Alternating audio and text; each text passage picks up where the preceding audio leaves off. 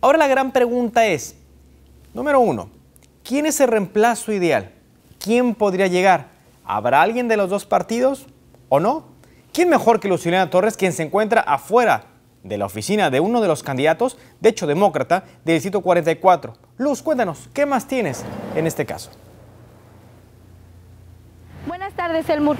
Mucho se ha especulado de quién será el reemplazo del senador Ralph Shorty. Y el día de hoy, en exclusiva, le tenemos la primera entrevista con el candidato demócrata que se está postulando para este partido. ¿De quién se trata? Les puedo decir que es un viejo amigo de la comunidad hispana. Esta mañana, el abogado Michael Proximenes anunció en su página de Facebook que se postulará para representar al Distrito 44 en el Senado. Necesitamos a alguien con integridad y nomás cometida, cometido a la comunidad. Y nomás ya pasé toda mi vida aquí. Yo hice la decisión de mover mi oficina para acá y nomás es, esto es algo que yo quiero hacer por la comunidad. Esta no es la primera vez que el candidato demócrata Michael Proximenes se postula para este puesto. En el año 2014 perdió las elecciones ante el todavía senador republicano Ralph Shorty y aseguró que esta vez regresa con más fuerza y seguridad. En este momento yo creo que ya tengo experiencia en hacer esas cosas, uh, pues no, nomás ya tengo nomás un, uh, un grupo de gente que, que, yo tengo confianza y nomás estoy cometido que, que quiero dar, quiero ser un líder nomás por la comunidad, nomás allá en el Capitolio.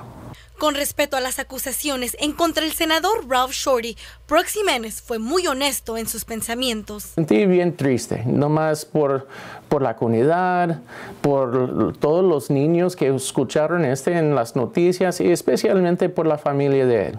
Y nomás, ah, yo creo que esta es es un ejemplo de cuando alguien que se siente tan poderoso que, cree que la, ley no afecta a él o que no hay consecuencias en sus acciones.